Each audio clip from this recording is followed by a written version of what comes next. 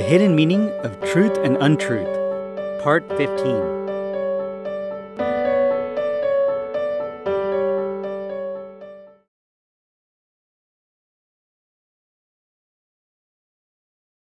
Janakbhai Patel, Hemlata Shah, Sarla. Jai Sachitanand Pujyashri. On page 46 of the book, The Experiments of Truth and Untruth, It's not the experiments of truth and untruth, it's the hidden meaning of truth and untruth. The former one is Mahatma Gandhi's autobiography, My Story of My Experiments with Truth. It's okay, go ahead. Dada Shri says, fighting will drain all your energies. So maintain the intention that you want to settle it. There is always an advantage in arbitration. It is not worth getting involved in any other dispute. There is only damage if you go further with that. Now, when is arbitration possible?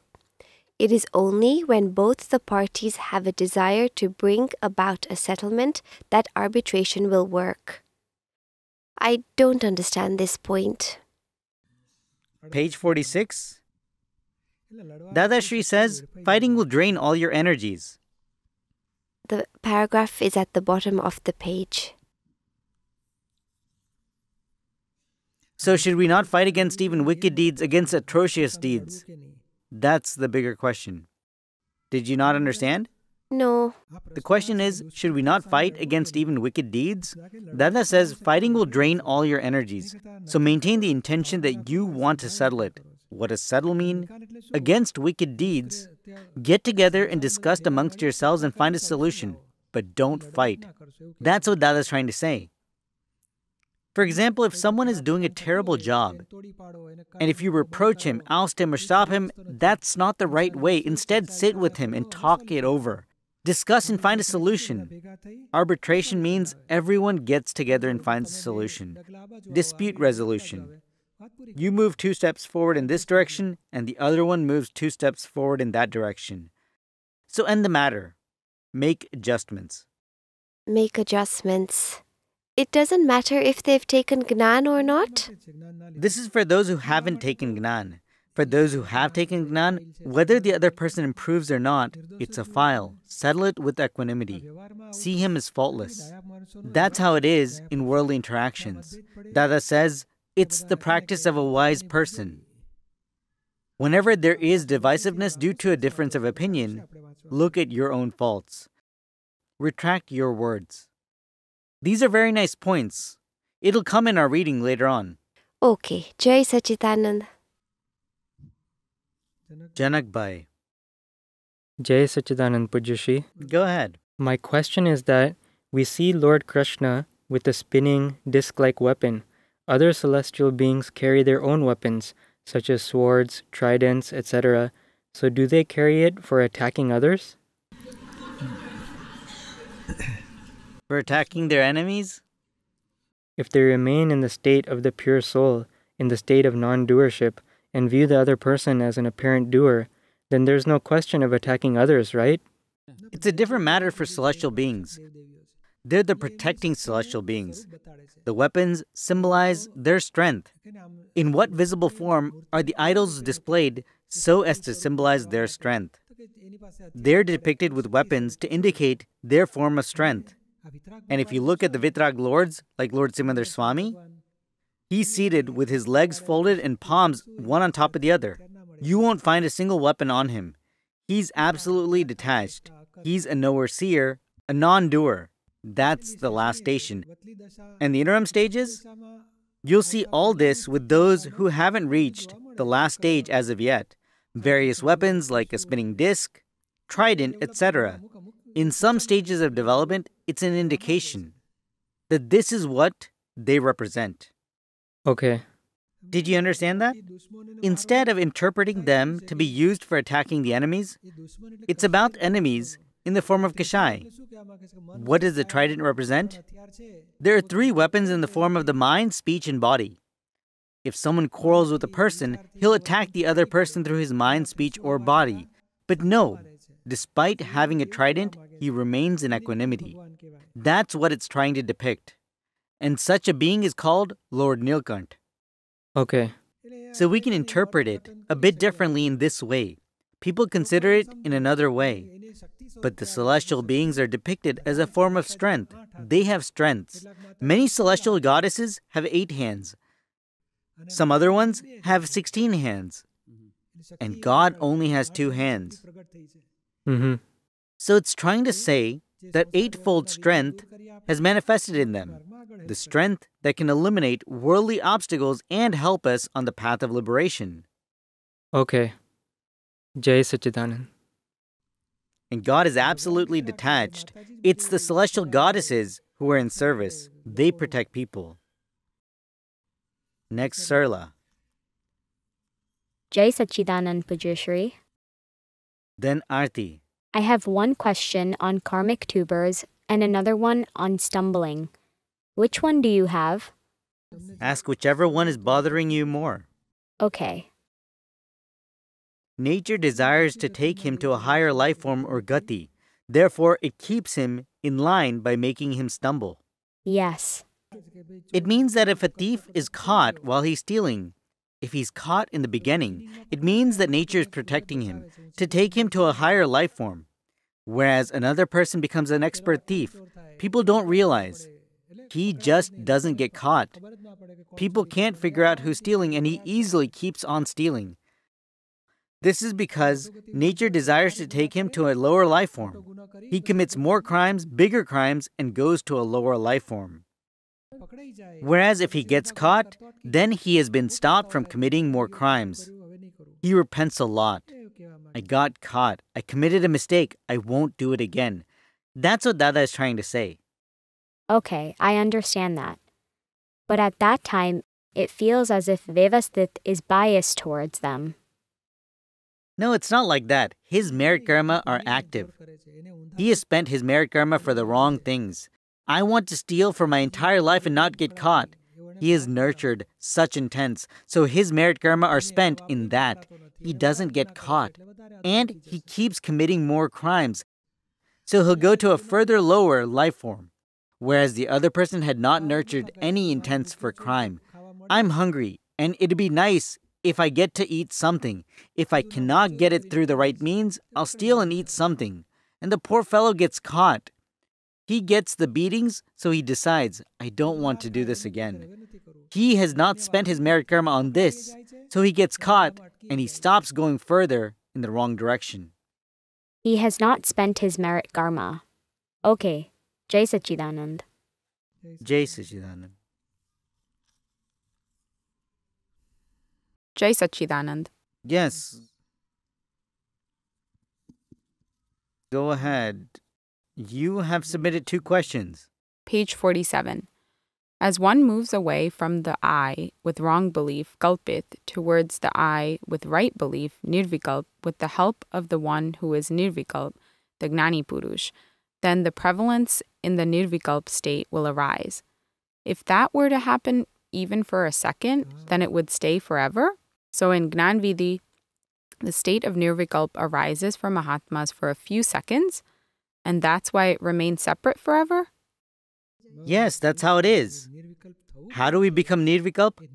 Only the one who is Nirvikalpi can make others Nirvikalpi. A Vikalpi can never make another Nirvikalpi. So, if there's a Gnani, a self realized Gnani Purush such as Dada Bhagwan, he can make others Nirvikalpi. And his Gnanvidhi is such that he has himself become Nirvikalpi and makes us Nirvikalpi as well. If that were to happen even for a second, then it would stay forever. That's true. So is this applicable only to Mahatmas? Yes, of course, it's only for Mahatmas. Actually, it can be for anyone. The principle is the same that if you take the shelter of a Nirvikalpi, you'll become Nirvikalpi. Otherwise, if one claims to read the scriptures and says, My Guru, but has your Guru become Nirvikalpi? He responds, No, he's still engaged in spiritual practice. So then, you won't become Nirvikalpi. The ultimate point is that he has to be Nirvikalpi, only then he can make us Nirvikalpi. He needs to have experience of the self, then he can take us to that state of experience. And secondly, Dada talks about wrong guides. Huh? There are many wrong guides who will take you to the wrong path. Guides, yes. So, There's no need to believe that all guides are wrong. We have to try, and if we don't succeed, then look for another guide. That's how it is in the state of ignorance. We didn't know that he's wrong. If we were lost in a jungle, and if we ask someone, he'll say, Go that way. We have to follow that. We have no way out. And anyway, we're trapped. By meeting one guide after another, one fine day we'll encounter the right one. We cannot consider them as wrong. A person who is lost, who's confused, takes help of someone. And if he finds one right guide out of 10, his spiritual work will get done. okay, Jai Sachidanand. Jai Sachidanand. All right, let's talk about Samaik. We talked about the worldly truth. Now let's talk about the real truth. In the relative, we say, Why did you ruin this? How long are you going to do all these wrong things? Stop it. When we say that, we don't remember his pure soul. We don't remember that Vyavasthit is the doer. So the speech comes forth without upyog, which is the applied awareness as the self. It should be with upyog. The pure soul is separate and Chandu is separate. Chandu has made a mistake, but he has not done that knowingly. It's his discharged stock. It's his karmic stock that has discharged. Therefore, we cannot say, Why did you do this wrong thing? How long will you keep doing this? When we say that, he feels deeply wounded. We should not speak in that manner. Instead, we should say, Do you realize that what you did is wrong? We should not do such a thing. Give him some understanding. And internally, deep down, we should have it in our awareness that it's the karmic stock that's discharging. It's Chandu's discharging stock. He's not at fault. As the self, he's indeed pure. Even he's not at fault. And since we don't have that perspective, we carry out our worldly interactions by seeing him at fault. He also endures suffering, and his reactions impact us as well. Hence, it'll bring veils of ignorance over us as well as over him. And we have attained Shuddhupyog, which is the pure applied awareness as the self. He is a pure soul in the real, and in the relative, he is discharging, and so he is not at fault. Discharge. It is Chandu's filled stock of karma that is emptying out, so he's not at fault today. To see him faultless, the wrong thing, whenever someone is doing a wrong thing, it should be in our awareness that one, he is not doing anything wrong as the self, and two, Chandu is doing the wrong thing, but he's not at fault today. The causes would have been laid in the past, and today the wrong thing is happening in discharge. He's not at fault today. So faultless, really, as a pure soul, he is faultless. And as Chandu, in the relative as well, he is faultless. Today's discharge, for example, if a person vomits, he happens to vomit. Hey, why did you vomit in this manner? He'll reply, Would I do this on purpose? It happened due to my prakriti or due to my non self complex. So it should be in our awareness that he's not at fault in this discharge. If he wants to improve, then he should change his diet, eat healthy food, and clean away the vomit. And if a few drops get spewed on us, then we can clean those. But we should not see him at fault. Due to this insistence on truth, we start seeing the person who's doing a wrong thing at fault. When we see him at fault, we do not see the self within him. We do not see that it's his karmic stock that's discharging.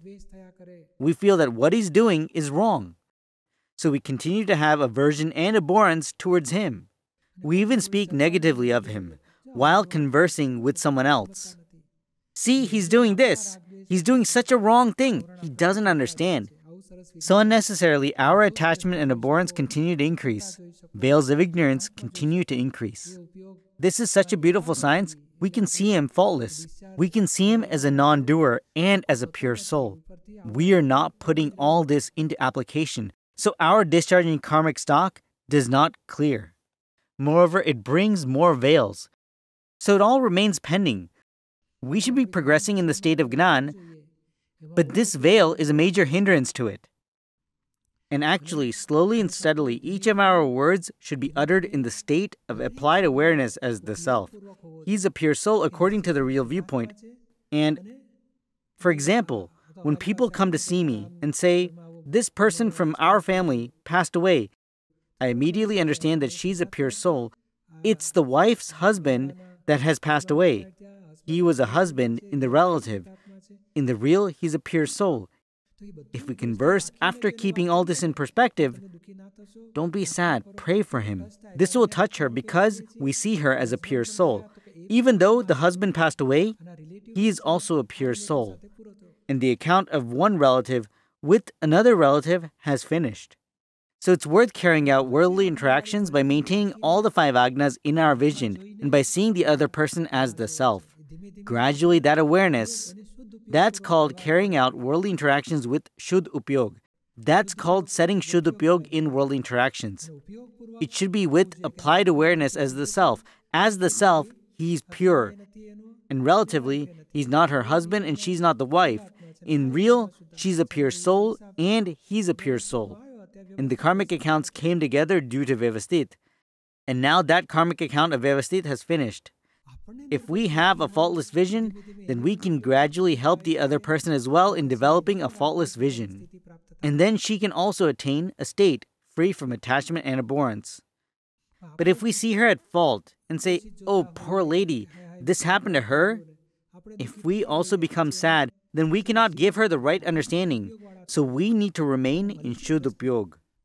We have attained the vision, but we need to bring it in Jagrati and gradually in Shuddh Upyog so that for every word that's uttered, we should instantly remember that in the real it's this, and in the relative it's that. The relative is in the hands of Vyavasthit, and it's in the form of a file. The pure soul is separate, and Chandu is his file. He missed settling it with equanimity, and this is how he can maintain equanimity. It should come in our Jagrati.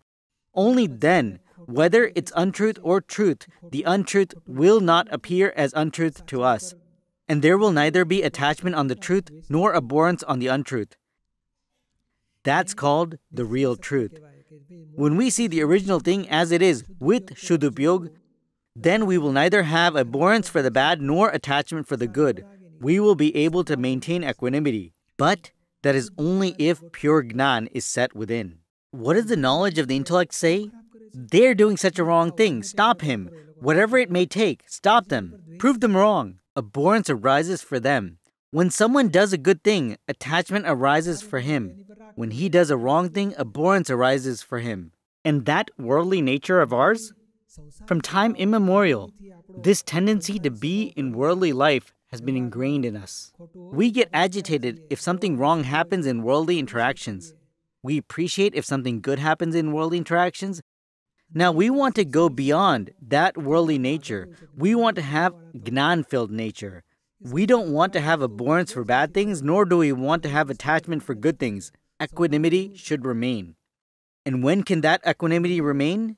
When we have the vision of Gnan, when we set the five agnas, when we set the faultless vision and the intent of non doership, when we consider it a file and maintain equanimity.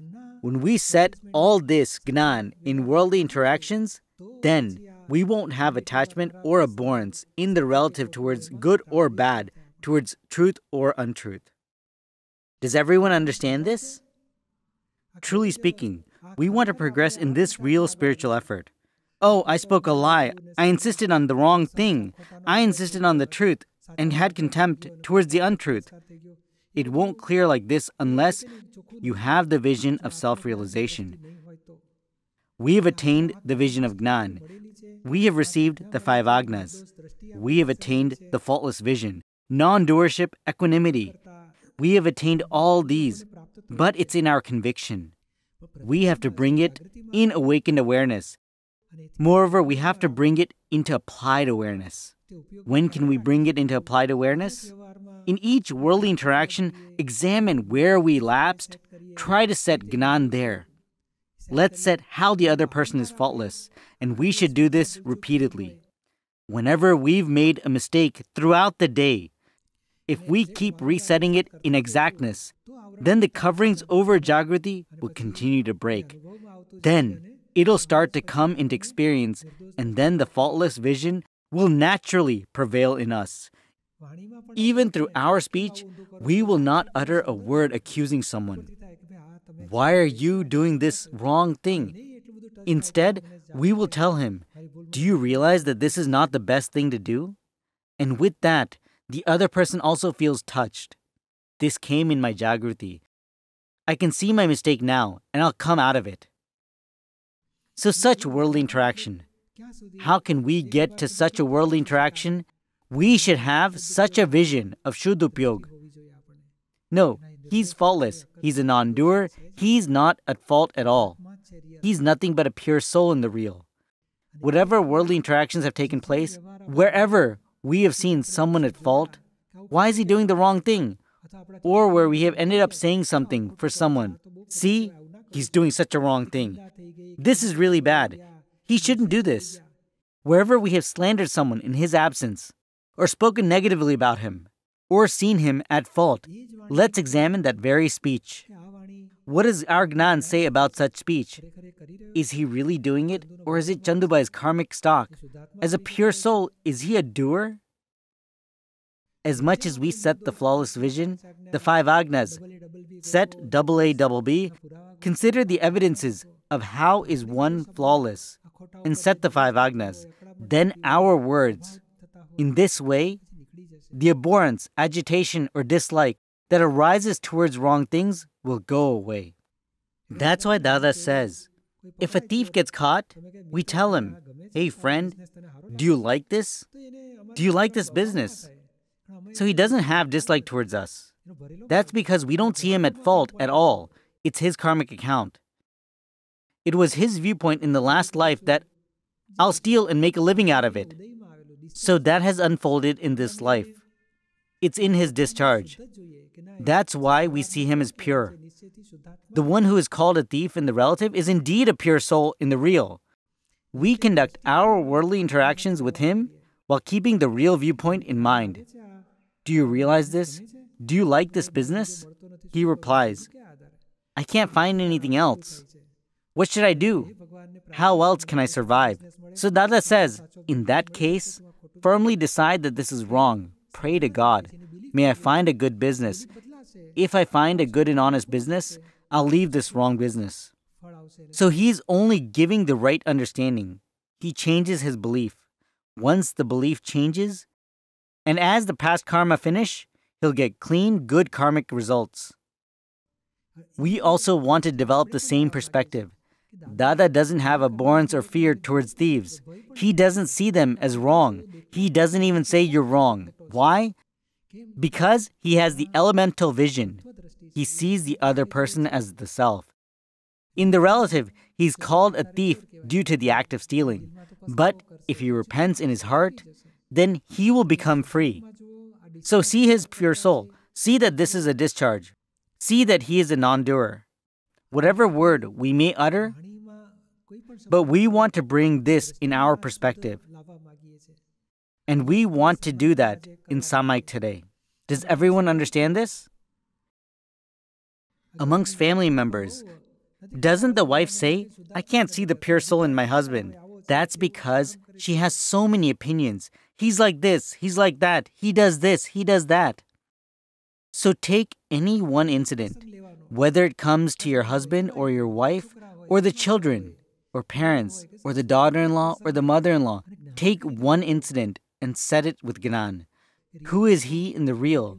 How is it in the relative? He's a file, he's faultless.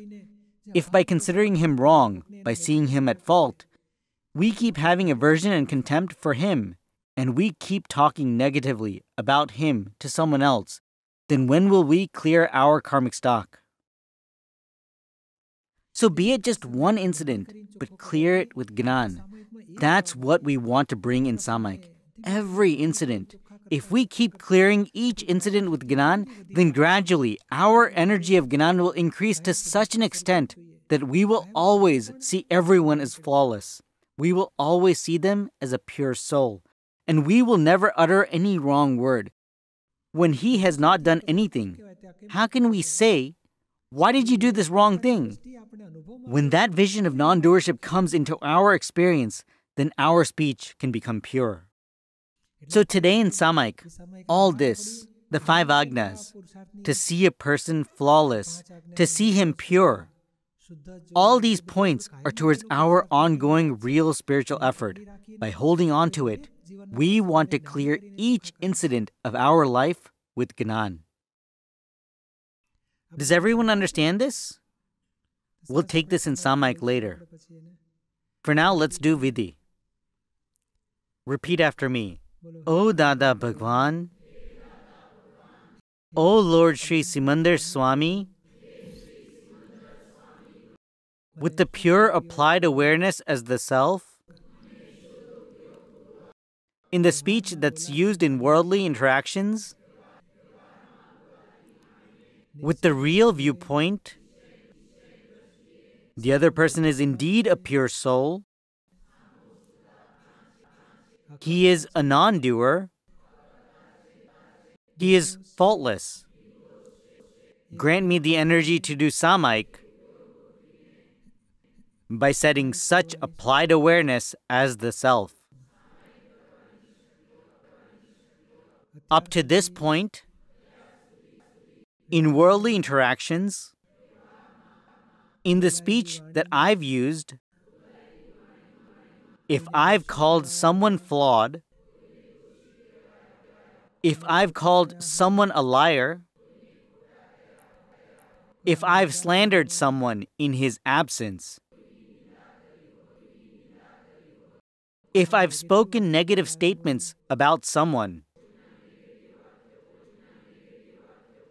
grant me the energy to clear all these with Gnan in Samaik.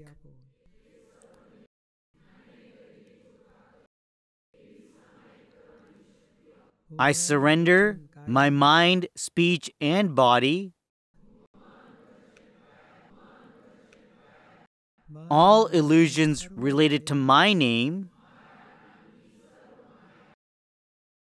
bhav karma, dravya karma, and no karma at the lotus feet of Dada Bhagwan.